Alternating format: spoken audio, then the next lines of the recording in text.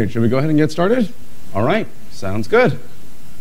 Okay, um, hello everybody. Thank you for taking the time to come join this session today. My name is Jon Chan. Um, I am a uh, engineer at Stack Overflow, and today I'm going to be talking to you about building a remote engineering culture. Um, before we actually get started, a show of hands, how many of you are developers here? Or code? Oh, very good. So I'm assuming most of you know what Stack Overflow is? Yes? If you don't and you're an engineer, you probably should find out because it'll help you a lot. Um, how many of you are hiring managers? Any of you? How many of you think about recruiting engineers? Okay. And one last show of hands, how many of you work at a company that is at least partly remote? That means there's somebody full-time that is working remotely. All right, good. There's a good, decent number of you. All right, so let's get started here. Ooh, going up.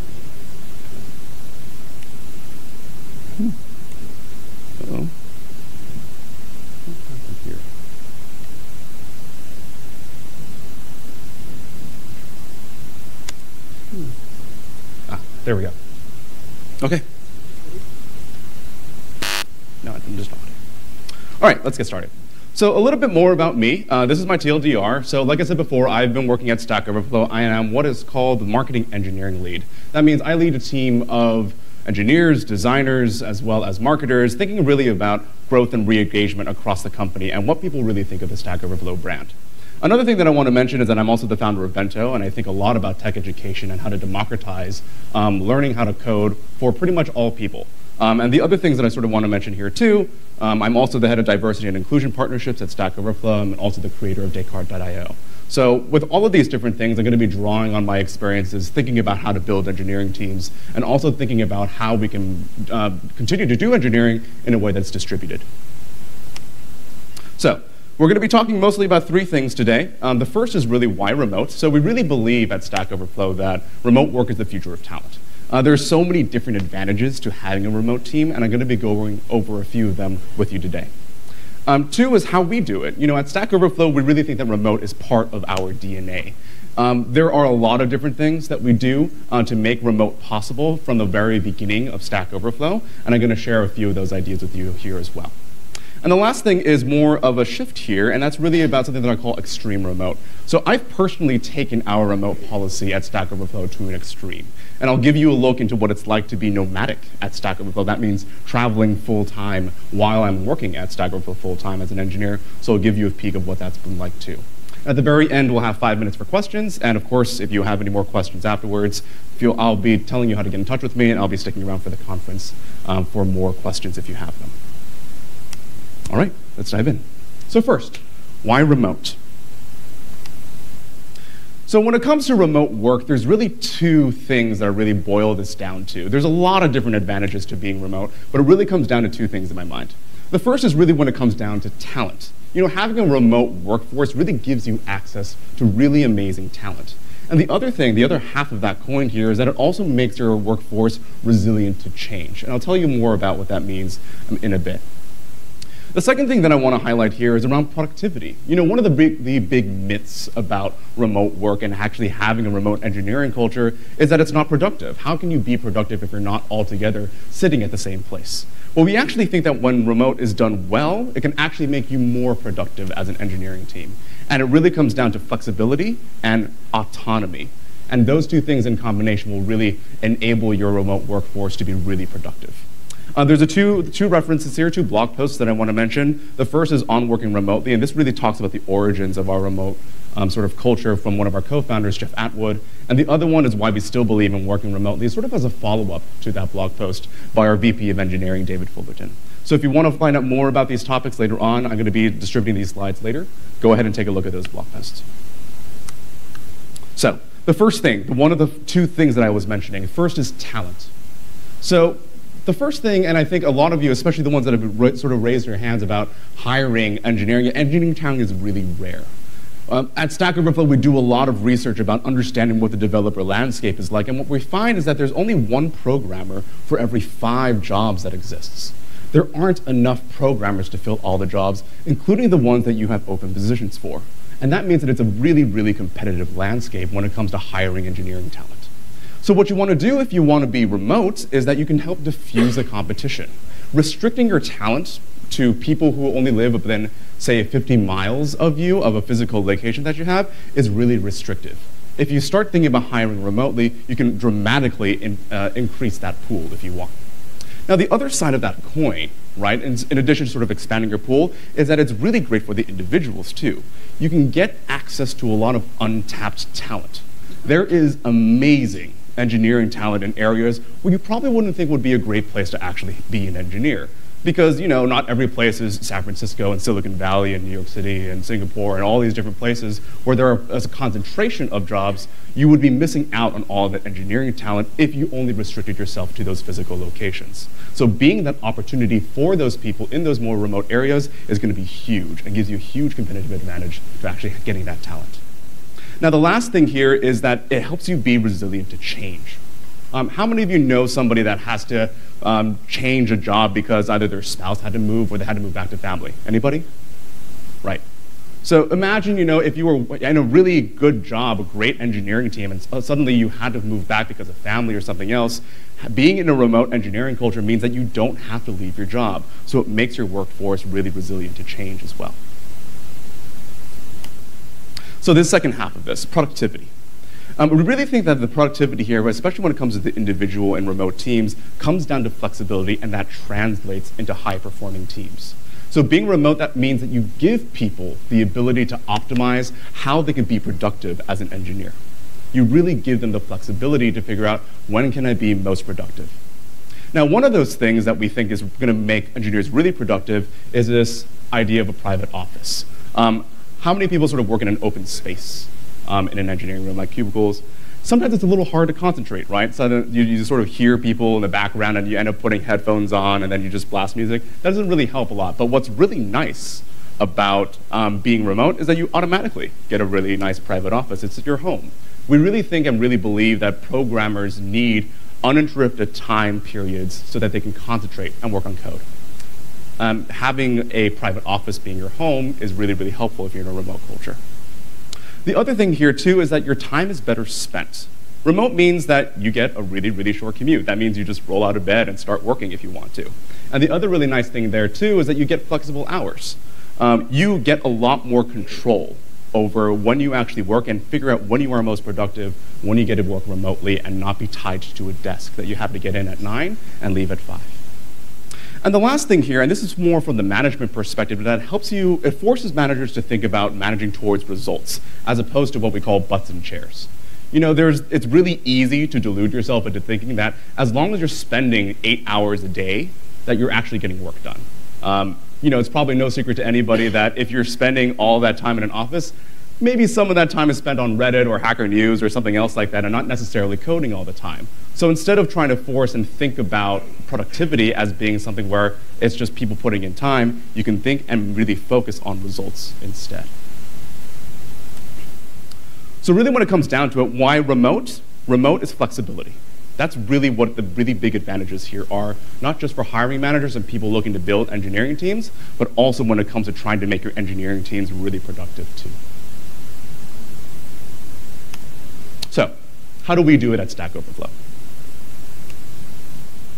First, before we actually dive into that, I want to give a little bit more background onto what Stack Overflow is like. Uh, the first thing is that we're pretty big and we're kind of everywhere.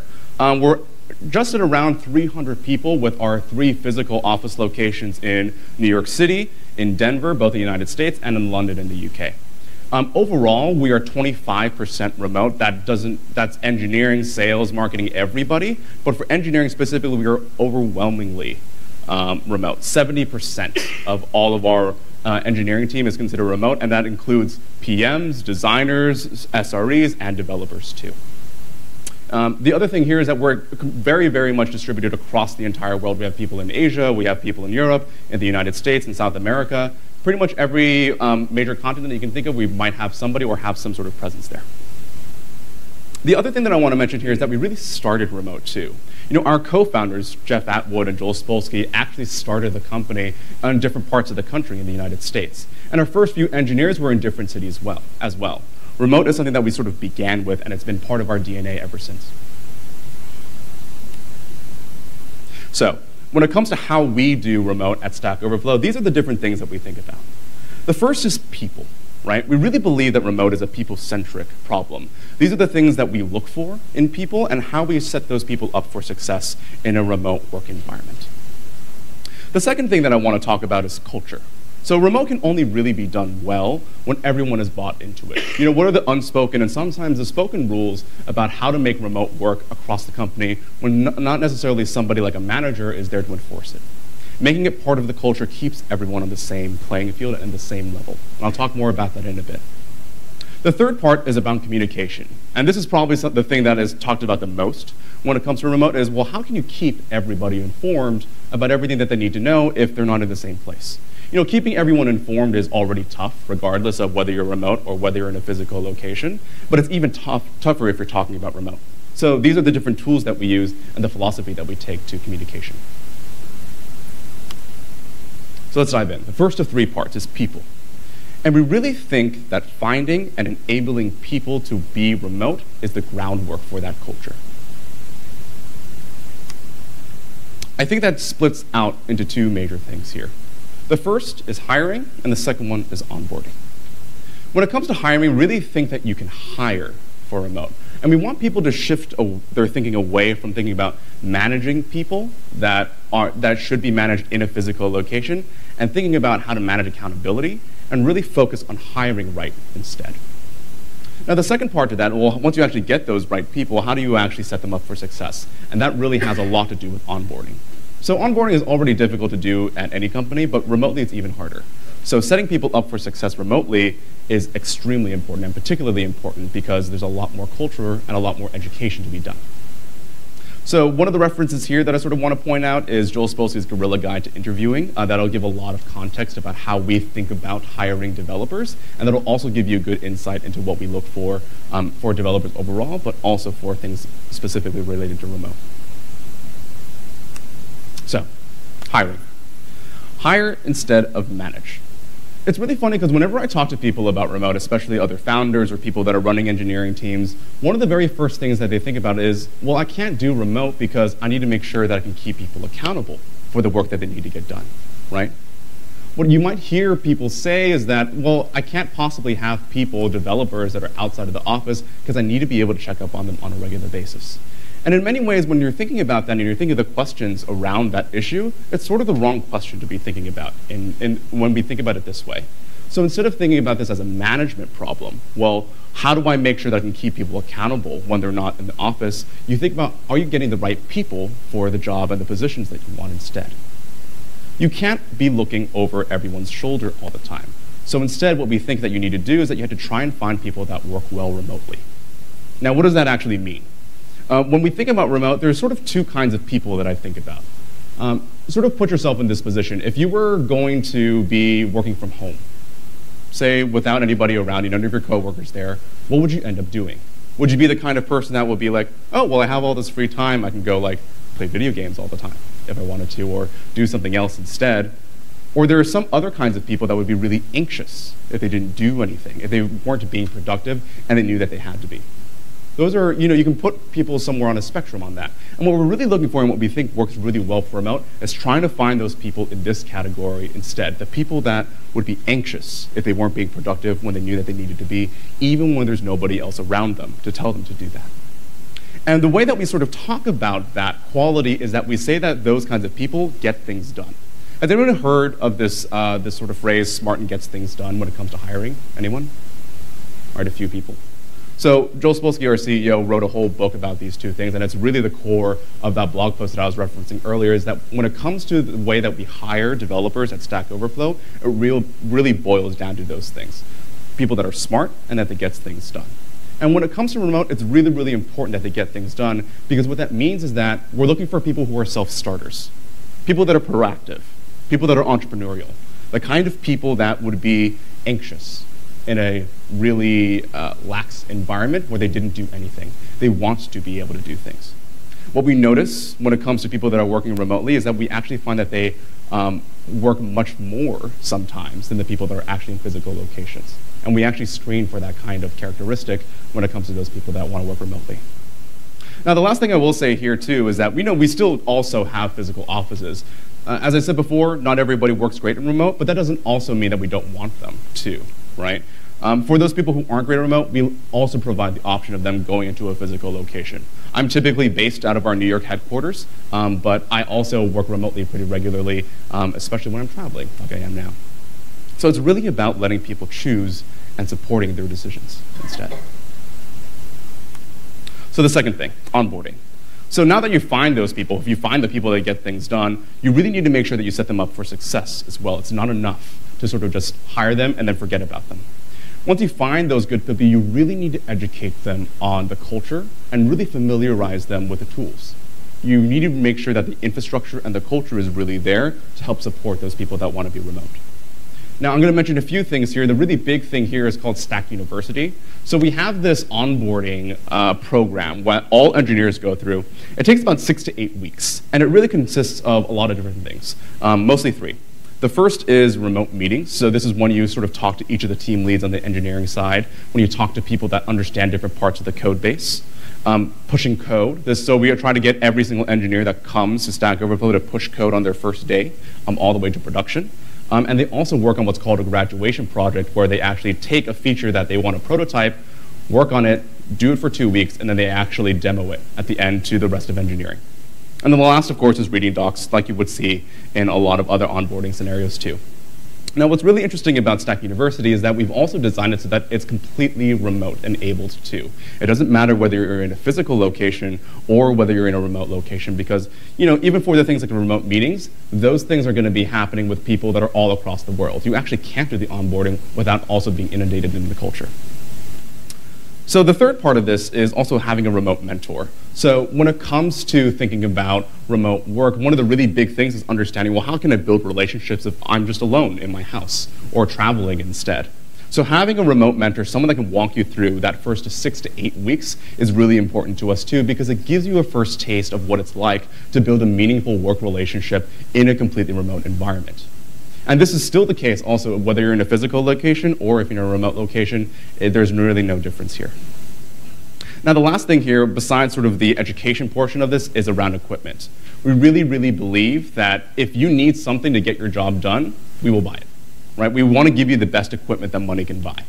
Now, every person that's uh, at Stack Overflow that's um, remote, they get a headset so that you can have video calls just the way that anyone else would, so that you're in a quiet environment. You get a standing desk, an ergonomic chair, and you even get a high-speed internet subsidy so that you get a home office that's very, very similar to the things that we would get um, in a physical location in New York, Denver, or in London. We really want to make sure that people feel as though they're on the same playing field and that they're really set up for success and things aren't getting in the way of making sure that they feel like they're part of the company even though they're not in a physical location. So this is really the big takeaway here. When it comes to thinking about people and remote, that it really starts with thinking about those people. It's really, really, really hard to try and, try and do remote after the fact, right? It really needs to start with who are you letting into the door and how do you set them up for success so that they understand the culture and the education around all the things that we do when it comes to remote. All right, next, culture. What's the philosophy that drives remote here? And these are sort of the, you know, when you talk about culture, you sort of think about, well, what are the, the, the rules that are sort of out there? Um, the unspoken ones, and even the ones that are repeated that make um, people do things in the absence of others. So culture is actually going to be something that's really, really important to us when we think about remote. And again, there's two things here that I really want to emphasize. The first is that everyone is remote. It's very important that we think of ourselves as a remote first company. It's really, really important that we make everyone feel like they're on the same level, whether they're not whether or not they're in a physical location or if they're remote instead. And the second thing about uh, the culture here is that we really focus on empowerment. We really, really believe that it's important that you can do your work independently of many other people. Because if you really think about it, if you were dependent on a lot of other people to do your work, say that, you know, I can't push to production unless I have someone else actually take a look at it, but you're in a different time zone from them and you have to wait five hours, that will make your, your cycles very, very slow it'll make remote working a nightmare. So empowering those engineers is really key here. So one of the reference that I want to point out is a blog post that I wrote called Empowerment Organizations that really helps you think, of, uh, um, sort of explains sort of how we think about empowerment when it comes to management and also how we think about empowering engineers as a whole. So if you're really interested in this topic, take a look at that in the future too. So let's start with everyone is remote. Um, first, this is this idea of nobody on speaker. Has everyone, has anyone sort of been in this, um, this situation where you're sort of all, in, you get a bunch of people into a conference room, and then you have a bunch of people like dial in and put onto the side? How many of you have been in a meeting like that before, or dialed into a meeting like that? In that situation, it's kind of weird because if you're on speakerphone or if you're on a conference instead, it doesn't feel like you're actually part of that conversation sometimes. It's a little bit strange. So it's at Stack Overflow, we make sure that that feeling doesn't really exist anywhere. You know, if you've had that experience, you feel like a second-class citizen in those meetings. So what we do at Stack Overflow is that you know, we use Google Hangouts for most of our video chats. And one of the things that we do is that even if you're in a physical location you need to go talk to somebody, what you'll end up doing is that you'll go back to your laptop, get on a video chat, and the person right next to you will get onto a video chat too. The reason that is is because if you want to get somebody that's in Europe but you're both in the New York office, all you need to do is ping them and they can come back into that, uh, to that chat room and start talking to you. And everyone feels like they're on the same playing field. No person, regardless of whether they are in physical locations or if they are in actual remote locations, feels that they are more advantaged or disadvantaged as a result of that. And that really applies as a philosophy across Stack Overflow when it comes to remote. How do we make people feel like they're on the same playing field? So one of the ways that we do that is also by creating virtual social spaces. So one of the things that we do, oh, that, that people talk a lot about when it comes to remote is that, well, it must be really isolating to be remote instead. Well, how, how do you talk to other people? It must feel really lonely to be a remote worker. Now, one of the things that you sort of miss out when you sort of uh, end up working from home or somewhere else is that you miss out on those casual social interactions that you'd get, right? I'm going to go grab a cup of coffee and I'm going to go talk to my coworker about this, or I'm going to go grab lunch. You know, we have lunch every day in our offices at Stack Overflow. I'm not going to be able to talk and, and go to different teams to chat about that stuff. So what we try to do as much as we can is that we have virtual social spaces too. Um, you know, every week we have this thing called a Bev Bash, for example, where everyone can just sort of jump on a hangout and either grab a beer or a coffee, depending on what time zone that they're in, and just chat you know, if you were just working and you didn't create those social spaces and all you did was meetings, you would actually end up still feeling that isolation. And there are also events and programs that we have on. We had this thing called Stack Roulette, for example, where we sort of randomize three people from across the company, um, regardless of where they are, and get them talking to people. Um, so you'll sometimes see a salesperson, a designer, and an engineer on one call, or you'll get a VP, and you'll also get people from a different level in that same call as well, so that you can really get that social interaction that you would miss out um, if you weren't in a physical location. Now, on the other side of that, there are still physical meetups. You know, we do still think that it's, at least occasionally you come together. You know, for engineering, we typically fly people in for a meetup once or twice a year, depending on what team that you're in. So um, a lot of people on the engineering team will be sort of part of their small team. So for me, it's marketing engineering. There's also a data science team, one that works on our Q&A engine. And those people might come together once um, a year just for that team to talk to each other. But there's also a really large annual meetup that we do for everyone that touches the product. So all of marketing, all of design, all of engineering. And we get everybody into the same room in one city once a year so that you can actually end up meeting all those pe people and actually put faces, real faces, to those people that you're actually talking to on video chat. Now, the last thing that I want to mention here is around the non-engineering teams. Now, when I say that everyone is remote, I really do mean is across the entire company. You know, it's important for teams that work with engineering to be remote first too. Communication and having the same lines of communication really enables collaboration. And if you don't get everybody onto the same page, even those that are outside of the engineering culture, it's going to be really hard to collaborate across teams. So let me give you a, a quick example of this. So um, I think about a year and a half ago, I was talking to our VP of marketing. Um, and one of the things that was happening was that uh, they weren't really on the same lines of communication that engineering was.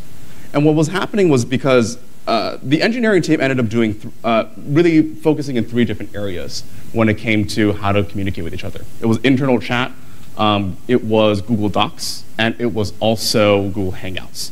Now, the marketing team instead, because they were mostly in physical locations, they were sitting next to each other. So instead of being on chat, they spoke to each other across the cubicles when they were um, you know, trying to actually have conversations when they were async, they were doing it over email. And when they had to have conversations with you know, vendors, for example, or partners, they were having phone calls or being on conference calls. And what you notice about those things is that there's very little overlap. And as a result of that, because not everybody was on the same page, there was very, very little collaboration on those two ends.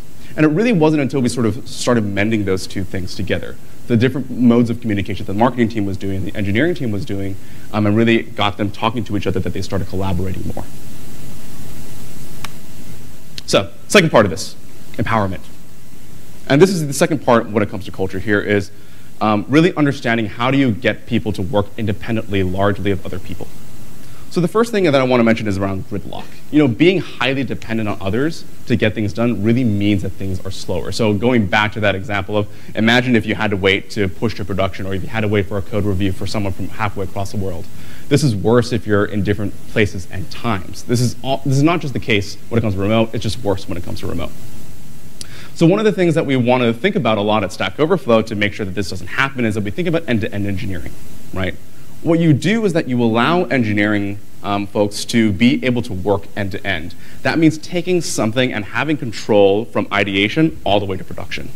You know, when it comes to the infrastructure, you know, some of you might have been at the talk yesterday around DevOps and how that really enables um, high-performing IT organizations. Um, really, really believe in that when it comes to our infrastructure too. So how do you actually allow for end-to-end -end engineering um, for remote workers is that you really make sure that you get fast deployments, you get feature flagging, making sure that people aren't writing over each other's work, and third, that you do automated testing too. So all the things that you're thinking about, making sure that there's version control, making sure that there's um, you know, no collisions around that, making sure that the, there's quality assurance around those things. We try to make sure that we automate as much of that as we can so that you're not necessarily dependent on other people that might be in a different time zone to make sure you can get things done. Now, really, when it comes down to it, all these different things around empowerment really comes down to trust, too. You know, giving this freedom means that you trust your engineering talent is smart, right? You wouldn't want to be able to give all that freedom to someone that you didn't necessarily trust. So again, we go back to this idea of instead of trying to manage for that, we really think about hiring for that. And that's the second part of the smart and gets things done that I was mentioning before. You also want to make sure that the engineering talent that you're getting coming into the door, if you're going to be empowering them that much, is really, really good at engineering too. So the takeaway here, when it comes to culture, remote culture means inclusive empowerment. Two things. Inclusive, making sure that everybody feels like they're on the same playing field. When one person is remote, everybody is remote. And the second is around empowerment, really making sure that people feel that they have full control over their own work and they aren't too highly dependent on other people to get their work done. So, the third part of how we get this done communication. And this is really thinking about breaking out conversations out of who, when, and where those conversations occur. There's really two parts to this strategy when it comes to communication. And the first is around what we call asynchronous tools. Um, when it comes to async versus synchronous, if you're a programmer, you might already know what this means, but if you're not, you know, asynchronous sort of means like it's, it's what text messaging is, right? You can sort of send a text and then you can wait and then you can respond to it later. You don't have to be at the same time and place in order to do that. Synchronous is a phone call, right? You have to be there and very present in order to do that. And we focus on tools that are asynchronous. It's really difficult to get a lot of really busy people um, on the same time and in the same place to communicate. So instead of trying to force that happening in a remote culture, we just sort of stop trying to do that and we focus on tools that'll give us a written record. The second is this idea of public by default. So transparency, that's really what this comes down to. It's transparency and it's a really key part of our ability to be remote too.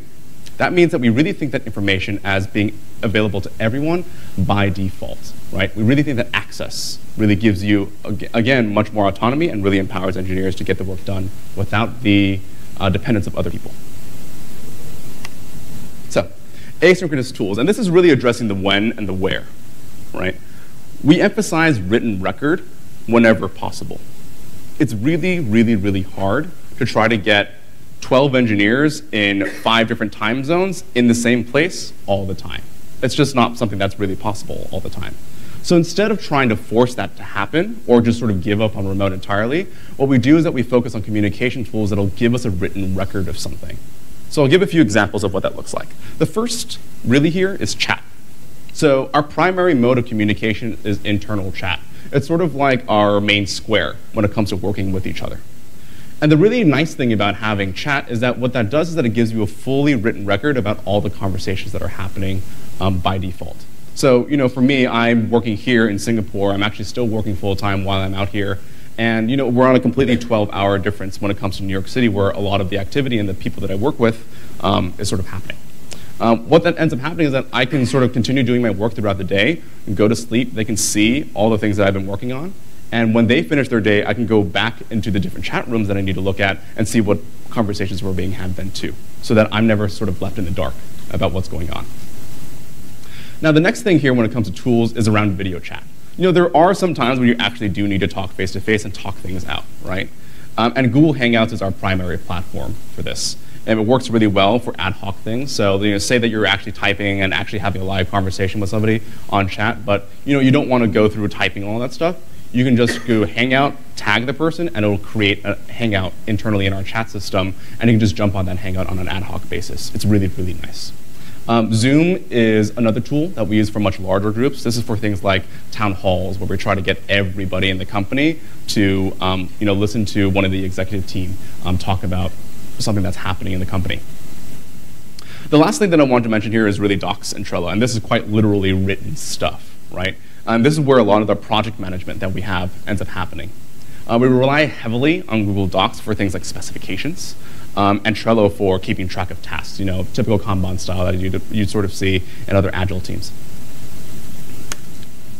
The next portion of this is something that we call public by default, and this is really about who actually owns the communication.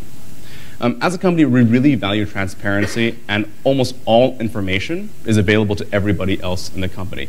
And in many times, it's actually public too. It's not just within the company, it's outside of that.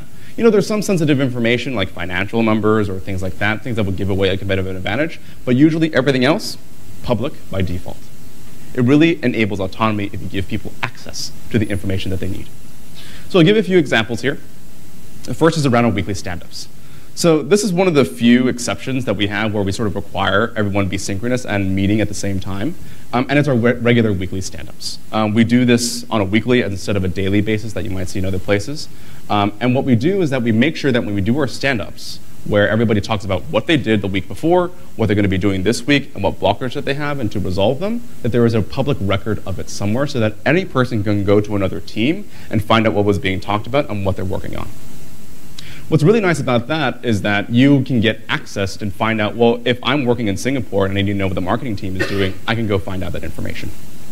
Now, uh, granted, that's a lot of information if you're talking about a lot of different teams. So the other nice thing that we do is that we actually bubble up those weekly stand-up reports up into what we call a CEO report. And actually, all of this is managed inside of a Trello board, so you can see all the different statuses that are happening on a weekly basis in one place, but you also get a digest of all the highlights from each of those reports in an email called the CEO report. And that happens on a weekly basis, so you get a good snapshot of what's happening at the company at any one point in time. Now, the thing is that this, again, comes back to empowerment. I keep talking about autonomy, empowerment, really thinking about these things. It's really another portion of this, which is talking about, well, how do you make sure that people get the stuff that they need to get their work done without necessarily needing other people around them? It really, really allows people to continue working on what they need to do without having others to depend on them and having the information that they need to keep working and being productive. So, last thing when it comes to how we do this, public artifacts really allow for remote communication. Public, because we really believe in public by default. If you need information, you should have it, and it should be available to you when you need it, usually in a written record of some sort. The last one is artifacts. Again, having a written record, making sure that it's async, breaking out of when and where the communication took place. And um, by having both of those things put together, you really um, sort of solve this, um, this, this problem of how do you communicate across teams when they're really distributed. So this is the third part, and this is the more fun part um, of this uh, talk, is what I call extreme remote. So this is really about pushing remote to the limit here. Now, when most people think about remote work, most of them think about working from home, right? I can just go and sit in front of my computer with no pants on and nobody will ever know, right? But what if you really want to work remote but still keep your pants on because you wanted to travel? That's sort of what I was thinking about. So, hello world. You know, starting in August of last year, almost exactly a year ago, um, I ended up traveling while working full time for three months. I really wanted to see not just what it would be like to work remotely outside of a physical location and stay in one place, but what would it be like if I were, was actually nomadic? What if I started traveling actively while I was working instead? So the idea here was that if we already have a great culture of remote work, why should I just stay in a single place? Because the idea here is that, well, you know, if I was a European dev, for example, and I worked out of London and I just stayed in the same place, I didn't necessarily want to live there. I just still wanted to be able to travel. The really big difference here would just be that instead of every time everyone get into a Google Hangout and I have the same background, I have a different one because I'm traveling somewhere else instead. Um, so the same principles here apply with a few special exceptions. So this is where I went in three months while I was working full time as an engineer at Stack Overflow. Um, I ended up going to 22 different cities in seven countries over four continents in three months. Um, and very rarely did I actually end up staying in one place for more than a week. Um, you, so you can see I started in New York where I'm typically based, made my way through um, Europe, Germany, Spain, France, Italy. Um, took a one-way flight from Rome all the way to Hong Kong. Um, went from Taipei all the way back to San Diego. Um, uh, sorry, to Los Angeles, and then finished up in San Diego. So um, just to give you a really quick understanding of sort of how this works before we move into Q&A, I just want to give you a sense of what my schedule might have been like in a single day. Let me just skip this slide really quick. So this is an actual day that I spent in Florence. Um, and this is what it would have been like when I was actually working full time. 6.30 a.m., that's when I woke up. And I really wanted to do this hike that was about two hours away by taking a train. And at this point, you know, zero hours worked. 7 a.m., I took a train to uh, That's where these, these hikes were actually happening. And I ended up just doing a day trip before I actually had to continue my full day of work. And I actually also ended up working on the train. So what I did and when I started out, you know, when I was nomadic, was I uh, ended up first catching up on emails and docs, making sure going over through the chat records, the different things that people were emailing me. And with all that time, it was really easy to catch up and actually do some work um, with some quiet time. So at 9 a.m., I arrived at the trailhead. I already had two hours of work in because I actually did all my docs and also did my status reports. And this is sort of what the trailhead looked like. So went hiking for two hours in the morning, still had two hours of work done. This is what those hikes look like.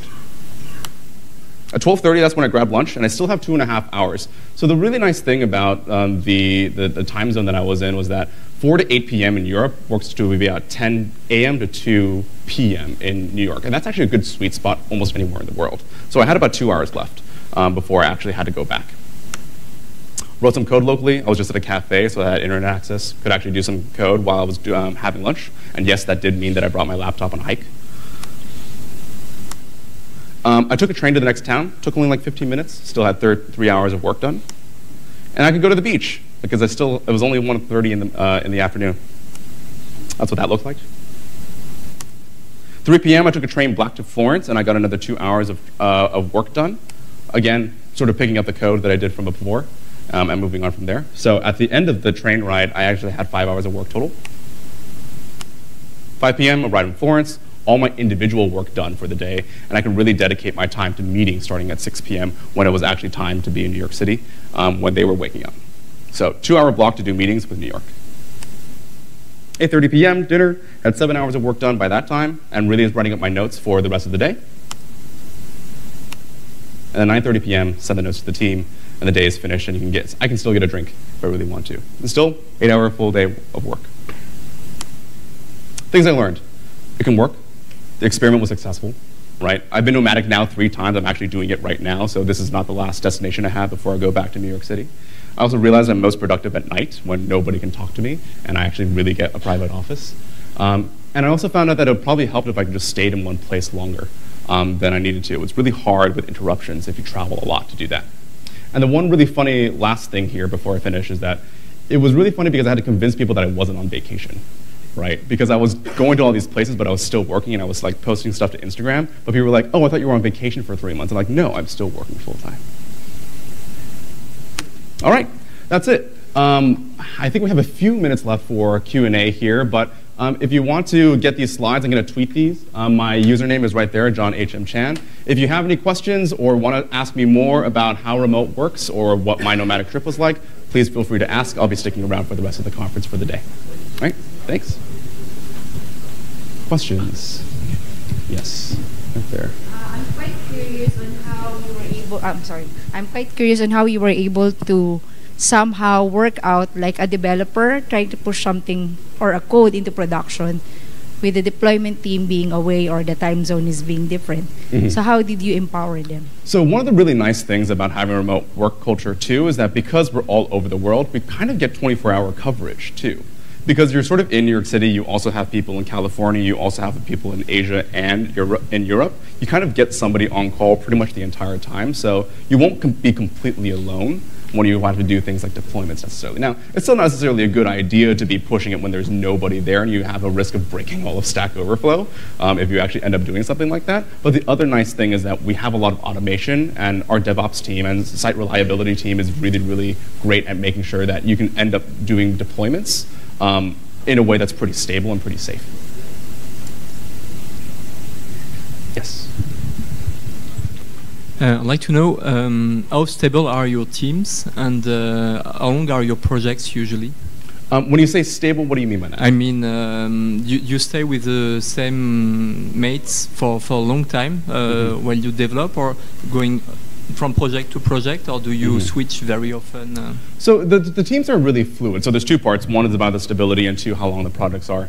Um, the first is when it comes to stability, you end up working, you know, on a project-to-project basis because the teams are pretty fluid. I mean, uh, I am part of sort of what's called the marketing engineering team, and that means that I have to work, have to work a lot with a lot of other teams. So some teams end up working with a lot of other ones on a pretty regular basis and pretty frequently. Um, but some teams, you know, like the Q&A team, for example, they stay pretty close and put their heads down, really, really focus on the Q&A product. So it really depends on which team you're talking about.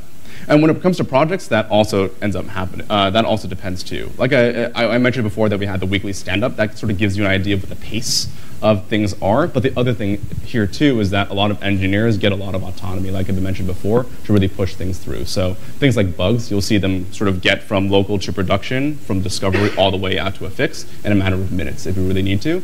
But for longer projects, things can take a few weeks to maybe a few months for really, really big projects. Other questions? Yeah. Were there any legal issues when you were trying to implement remote? Like when you were trying to do extreme remote, did you apply for work visas to work in Italy? And That's a good question. So for when it came to um, you know legal issues, right? I mean, uh, I picked a lot of the places that I ended up picking too because I wouldn't run into those issues being a United States citizen, right? So if you were in a different sort of situation, you might um, have a little, uh, a few more restrictions there when it comes to working. But the thing is that it's no different from sort of traveling perpetually. As long as you're sort of not going there to work for a company that is in that country, I was still technically working for Stack Overflow based in New York City as an American citizen. I just happened to be traveling and working at the same time. Um, any questions on the far sides here? I think it's Can I? hands. Oh yeah. Here. Uh, just one question. Where is this coming from? Oh, there we oh go. here. here. oh sorry.